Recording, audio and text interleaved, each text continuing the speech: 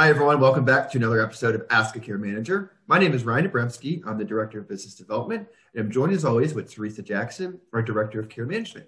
The both of us work for Easy Living. We're a home care and care management agency serving the Tampa Bay area for over 20 years. As always, the Ask a Care Manager video series is brought to you by our friends over at Senior Living Resource Magazine and their website, theseniorlivingguide.com, your one stop local and statewide resource for all things senior housing and health.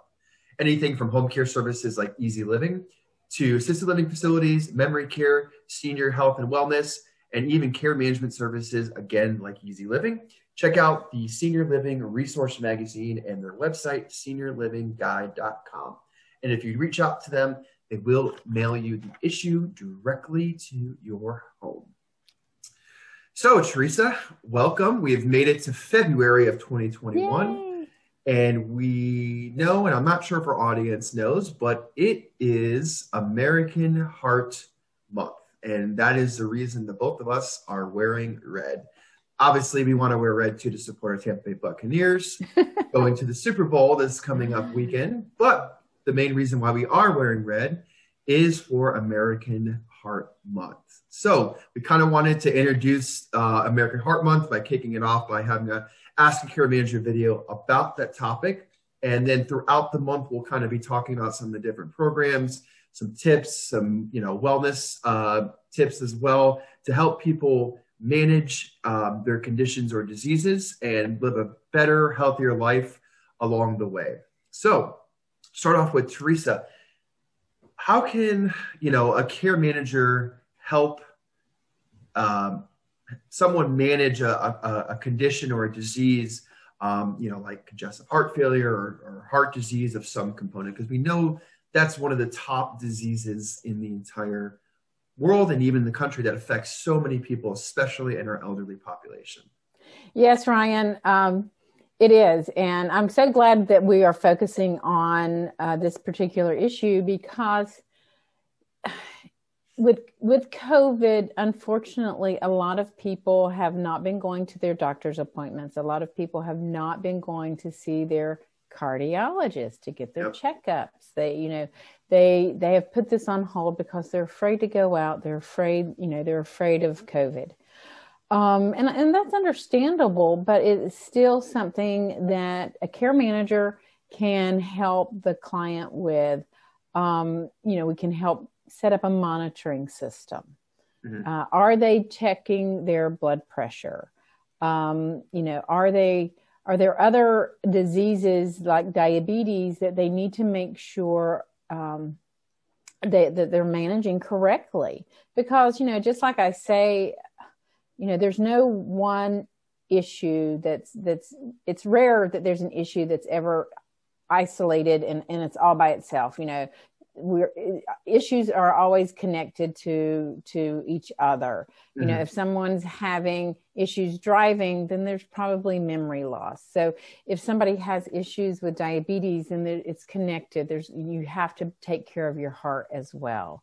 So you know if somebody has a poor diet you know it our bodies are that's just the way that they work. And to have a care manager come in and help oversee how the client is managing whatever diseases you know if they have heart disease um, that's going to help the overall picture for that client and help improve their quality of life so we would look at issues like obesity obesity is something that can lead to heart disease so poor diet choices can lead to obesity uh, you know, is our do we have a client that is still using tobacco? Are they still smoking? Um, you know, can we help encourage them to stop? Can we put in a, a, a a system that would help enable them? Can we get them to the right doctors and and get that communication going to help the to help the client understand? Because you know what I see a lot is, you know, I'm 80, I've been smoking all my life. Why stop now? um, you know, there there are reasons to go ahead and stop now. You know, and and that is something a care manager can help encourage and can be um, uh, encouraged also like if we have home if we have care partners in the home so maybe it's a diet issue now i think about i think about this client that i had several years ago Uh, and again, this was pre COVID. So he would eat almost every day at McDonald's. And he would go in there in the morning and he would sit down and eat his breakfast and have some coffee and watch the, uh, read his newspaper. And then he would have lunch there. So he's having two meals a day at McDonald's because he never cooked for himself. Now mm-hmm. he's a widow. And, and I see, I see a lot of men that are in this position where you know they never did really cook for themselves. It's that generation. You know my yeah. husband cooks more than i do now so you know, he'll be fine. Um, but it's that generation where the women did the cooking and planned the meals. So now um, they've outlived their spouse. So they're eating alone. They're eating out. They're eating processed food which is high in sodium so all of this, you know, it's bad for your your blood pressure, um, your cholesterol, and these are all factors that it's still manage. You can still manage them. You know, don't give up at 80 because you might be the lucky one that lives to be 95. You know, that mm-hmm. that lives to be 100. So you want to you want your last years to be as healthy as possible. So yeah, you, know, you don't want a rough last 15 20 years. Exactly exactly. You know it you know excessive alcohol um, you know there's a lot of factors that a care manager can help you know talk to the client about talk to the family about. Maybe the families you know i'll let just let you know mom dad do what, whatever they want to do. They're 80 years old. It does what what difference does it make at this point in time? Well it does and it can make a huge difference. Just like you know you know exercising and it doesn't have to be you don't have to join the gym and go start exercising at 80 just incorporate a walk uh, into your daily routine. And this is something again a care manager can help set up the appropriate program and then the home care the, the care partner going into the home can help facilitate it and make it happen on a daily basis if necessary. Absolutely. And again it it all circles back to our reoccurring theme about being proactive instead of reactive.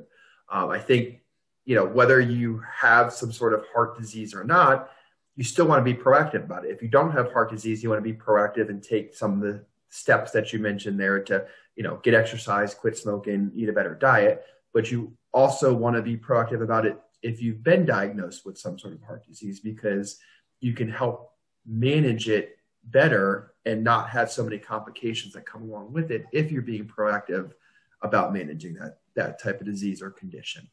Correct. And we're training our care partners to be able to identify you know what some of the issues the client might have. Let's say if they have congestive heart failure you know are their legs swollen? You know then the care partner can go in and encourage the client to put their feet up. Mm-hmm. uh, you know again encourage the more healthy meals um, it, it is sad to think about how many people are at home alone. They're not getting any cognitive stimulation, social interaction. And then they're also, on top of that, they have this very poor diet because, you know, they don't want to cook for one. You know, it's too much of a challenge, it's too much of a hassle. Um, so they're eating, you know, the processed foods, they're eating out they're making poor choices and they feel like, well, what difference does it make at this point in time? But let me tell you, it can really make a difference. And, you know, getting to your doctor's appointments, you know, that's something definitely that as a care manager, we're making sure, okay, you haven't seen your cardiologist in how many years? We need mm-hmm. to get back into that routine of seeing your cardiologist because if you have an issue, you don't want to have to find a new one. You don't want to have to start out as a new patient again. Absolutely. And I think that is, you know, the biggest factor with the care manager is that you guys can come up with the game plan and then our care partners can execute that game plan. So I think it's very important to have a plan, um, especially if you've been diagnosed with a disease or condition, because you know it helps you understand your disease and condition a little better and helps you manage it better when you know exactly what you're going to be doing and with the help of a care manager really stick to that plan and execute it so it is less of a chance for complications.